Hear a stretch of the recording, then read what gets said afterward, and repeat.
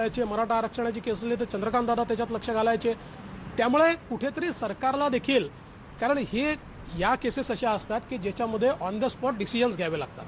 आणि अनेक वेळा त्यात कायद्याचे मुद्दे उपस्थित झाल्यानंतर म्हणजे हा शब्द वेगळा मला आठवत नाही म्हणून पण त्याला बगल देणारे निर्णय घेऊन आपलं आरक्षण आपल्याला वाचवावं लागतं. अशा प्रकारचे त्या ठिकाणी करायच्या ऐवजी थेट कन्सिड करणारा ॲफिडेव्हिट देणं याचा अर्थ सरकारचं कुठेतरी दुर्लक्ष आहे. जिस तरीके से जिस तरीके से पाँच जिलों में जिला परिषद चुनाव को रद्द किया सुप्रीम कोर्ट ने क्या सरकार सही तरीके से अपनी बात नहीं रख पाई है? और क्या कुछ हुआ आपने सदन में भी बात देखिए पंद्रह महीने पहले सुप्रीम कोर्ट ने पाँच जिला पंचायतों के चुनाव में कंडीशनल चुनाव करने की परमिशन दी थी और उसमें कहा था कि पिटीशन के आउटकम को सब्जेक्टिव रहते हुए ओबीसी की जगह का रिजर्वेशन रहेगा। उसके बाद पंद्रह महीने हो गए, कल निर्णय आया और कल के निर्णय में उन्होंने ये सारी सीटें रद्द कर दी, चुनाव सारे निरस्त कर दिए और वापस ओपन चुनाव करो करके बोला और इतना ही नहीं तो आगे में इस रिजर्वेशन के ऊपर एक प्रश्न चिन्ह तैयार हुआ और विशेष रूप से शेड्यूल्ड एरिया में। तो ओबीसी के लिए कोई रिजर्वेशन ही नहीं रहेगा, इस प्रकार का निर्णय आया।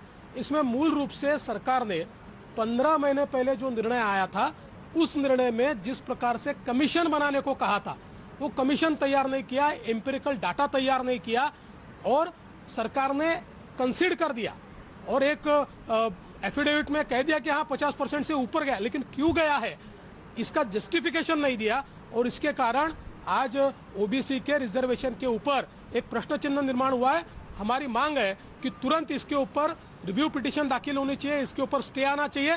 और सरकार के जिन अधिकारियों ने इसमें कोताही बरती है उनके ऊपर भी कार्रवाई होनी चाहिए। जिस तरीके से ओबीसी को लेकर के सरकार ने सुप्रीम कोर्ट ने पचास फ़ीसदी का कैप डाला है क्या मराठा आरक्षण को लेकर जो लड़ाई लड़ रही है उस पर भी सवाल खड़ा हो जाएगा सरकार के सुप्रीम कोर्ट में अपनी तरफ़ से मूल रूप से हमने मराठा आरक्षण जो दिया है उसमें इंदिरा सहानी के केस में 50 परसेंट से ऊपर जाने के लिए जो टेस्ट कही है उस टेस्ट को जस्टिफाई करके हमने वो दिया है।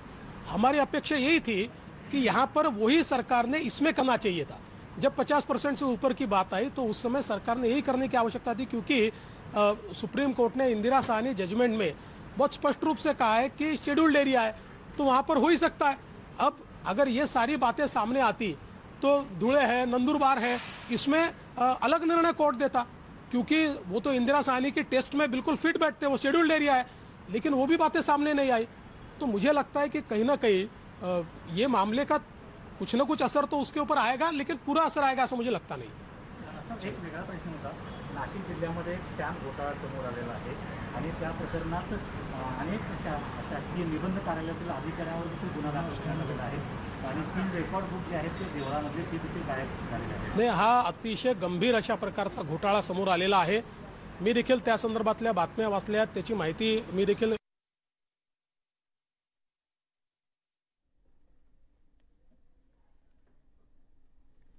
मराठा आरक्षणावरून भाजप आक्रमक झालेला आहे. त्या पाठोपाठ ओबीसी आरक्षणासंदर्भात सुद्धा विधानसभेमध्ये मुद्दा देवेंद्र फडणवीसांनी मांडला.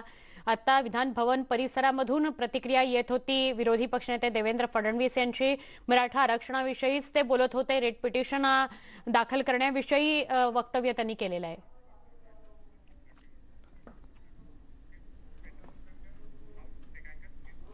नाना पटोले यांनी भारतरत्नच्या मागणी संदर्भात आज स्पष्टीकरण केलं. त्यांनी असं स्पष्ट केलं की सावरकरांना भारतरत्न देण्याची मागणी ही शिवसेनेची आहे. भाजपचे नेते आमदार सुधीर मुनगंटीवार आपल्यासोबत आहेत.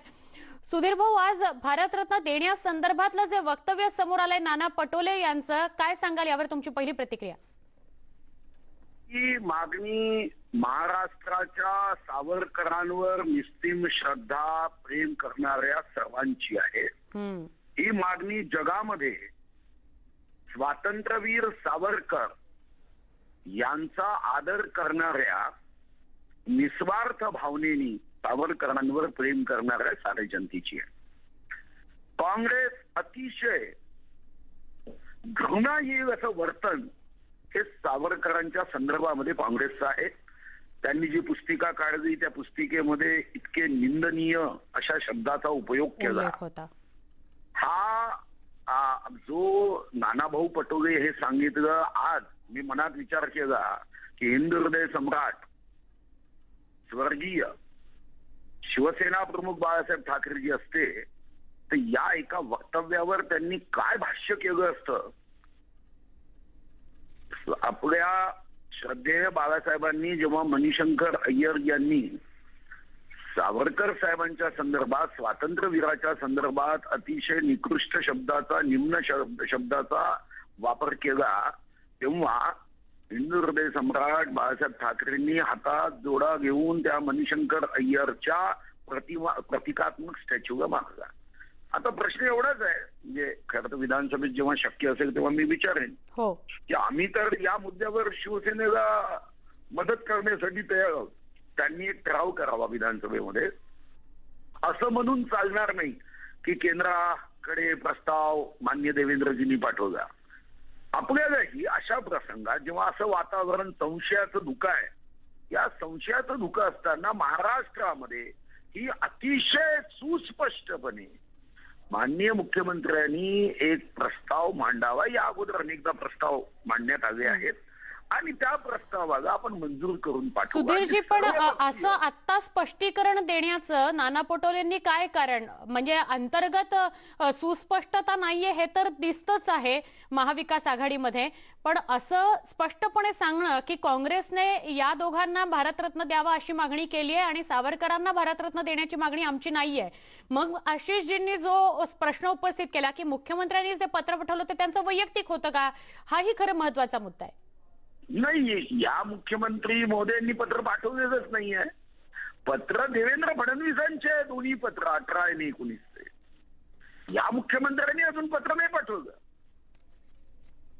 त्यामुळे मुख्यमंत्र्याचा वैयक्तिक प्रश्न नाहीच हम्म. म्हणून मी आग्रही मागणी करतोय की आता माननीय मुख्यमंत्री उद्धव ठाकरेजींनी या संदर्भात विधानसभेत ठराव मांडावा. आम्ही त्याला पाठिंबा.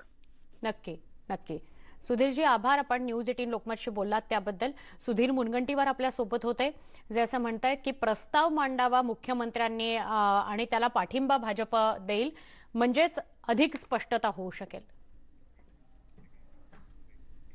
एक छोटासा ब्रेक घेऊया इथे. पहा फक्त न्यूज एटीन लोकमत.